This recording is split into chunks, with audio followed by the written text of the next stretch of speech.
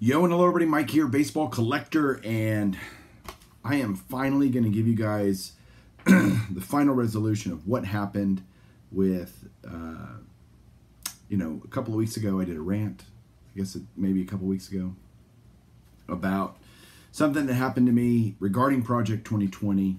Um, by the way, if you're having a hard time understanding me or hearing me, my voice is kind of gone.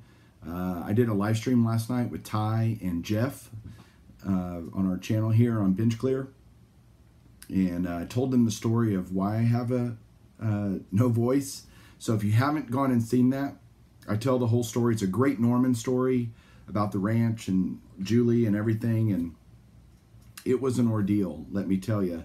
So the first 15 minutes or so, I'm talking about that story on the live stream last night. So I encourage you if you want to know what's going on or get some idea of that, go watch that. Uh, it was crazy. but what I want this video to be about is kind of the process that I went through with what happened to me through eBay, returned item, and Project 2020 and all that kind of stuff. So, re quick recap. May 24th of this year, I sell a Clemente, Naturel Clemente, uh, for $359 on May 24th get an email from the guy like, when are you shipping this? And I'm like, tomorrow. And I shipped it the next day. It arrived. I received positive feedback. All that all looks hunky dory. I took that money from my PayPal, bought some additional cards for my collection that I wanted long term, and all seems well. Fast forward to uh, early June, I guess it was. I can't remember the date exactly, it doesn't matter. I get a return request from the guy whose name, by the way, is Victory underscore Cards, Victory Cards. And his real name is Mitch Fortner. And he lives in Durham, North Carolina. So he requests a, re a refund. And his request reason, I have that right here. Oh, June 9th, he requested a return because there were scratches on the case and the packaging. Again, you're not buying the case, you're not buying the packaging. But hey, you're buying the card itself. Don't get me started on that. I make that argument. In fact, I thought I had a loophole. I thought I had a way out of this because I was pissed. I mean, I was like, are you kidding me? Um, the price of that card is now 125 maybe 150 and so it's not that it's worthless but i had sold it because i wanted to use that money to buy some other cards so I'm angry and I'm pissed and I call the guy out on Blowout, I uh, on Blowout forums. I talked with eBay. They were completely no help because they said the item was not described, and that's one of those things that you know you can. Uh, I guess you could put in your description that all cases might be scratched or might be the packaging might be damaged, and then they can't say you didn't tell me. but I guess you could do that. Well, what I did was I offered to send him a new packaging, Topps 2020, you know, the black packaging that it comes in, looks like this, and a new one touch, magnetic one touch to put his card in so that he could have his item. And eBay, from what I was talking with eBay about, if you do that and they don't respond, then you've offered to replace the damaged item and they will they will render a uh, decision in my favor as the seller. That's not true. that is not true at all. The buyer did not respond in the there's a basically a chain of communication between me and eBay, me and the seller, and it's all documented and everything. So if that happened behind the scenes, maybe it did. I don't know where the buyer refused that. But turns out that didn't work. So they sent him, they said, sorry, we've ruled in favor of the buyer here. We're sending them a return label, and the card got returned to me. Well, it got returned to me. And here it is.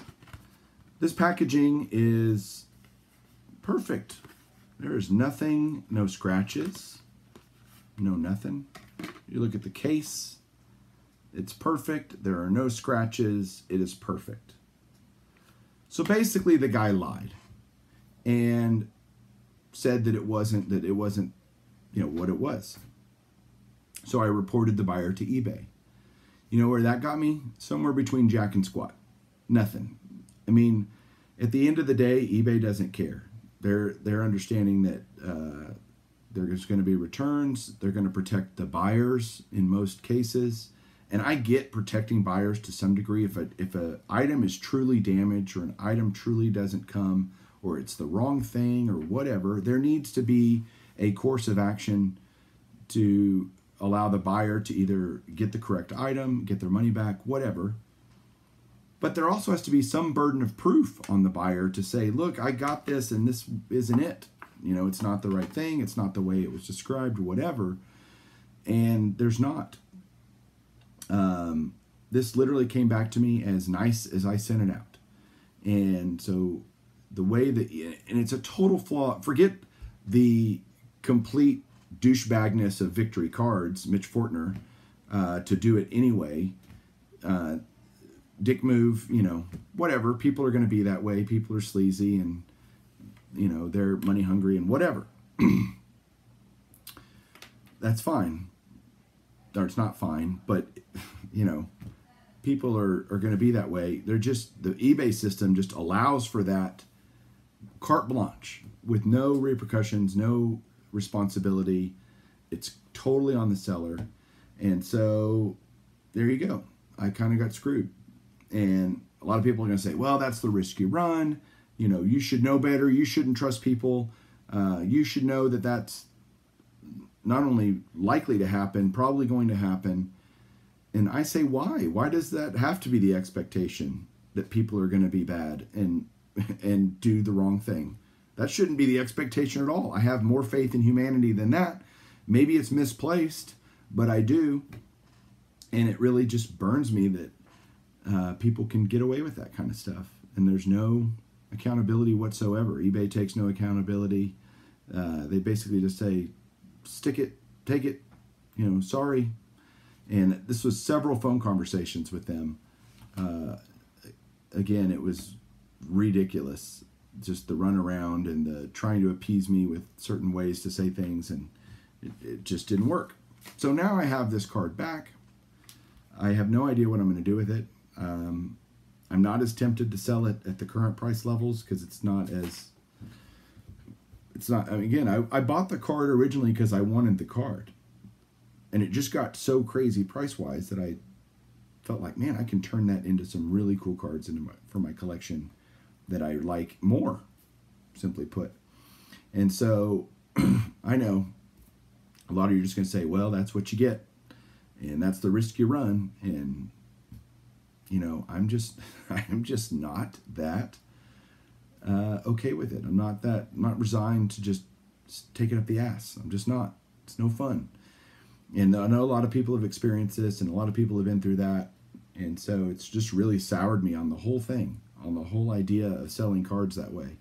And so there are other platforms to sell cards on.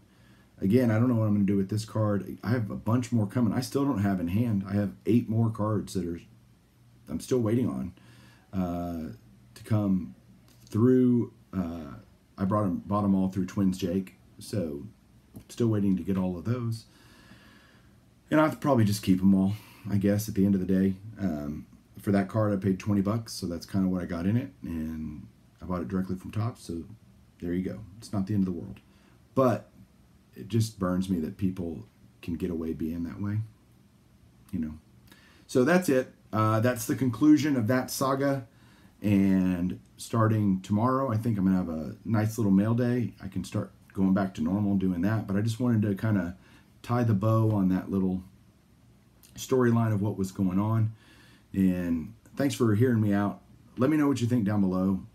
Uh, I'm sure none of us are surprised at the outcome that it ended up going against me as the seller.